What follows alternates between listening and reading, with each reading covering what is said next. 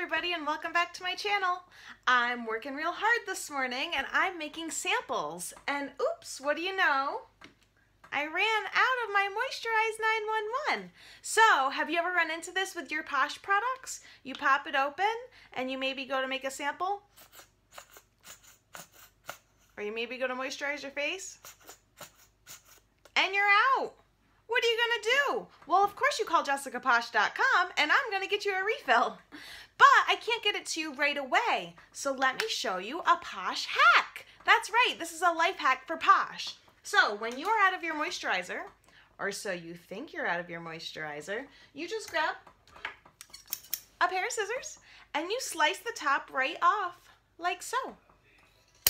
And as soon as you slice that top off, you can see there's so much more product in there. So what I do is I slice the top off and then I take a little sample spoon and I scoop some out so that I can finish making my samples. Or maybe I scoop it all out into one little mini container to keep in my bathroom or even use for travel for myself. So once I scrape out the top product here, I do another slice right about here so I can scrape some more out. And then I do a final slice right here because as you slice down, and I'll insert some pictures into this video so you can see what I'm talking about, as you slice down there's more and more product and there's going to still be even more product down here in the bottom, kind of in this little reservoir area where you're not able to squeeze it out.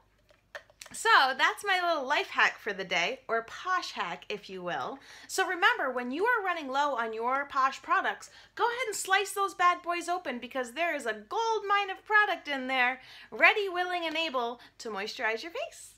Thank you so much for watching and have a great day.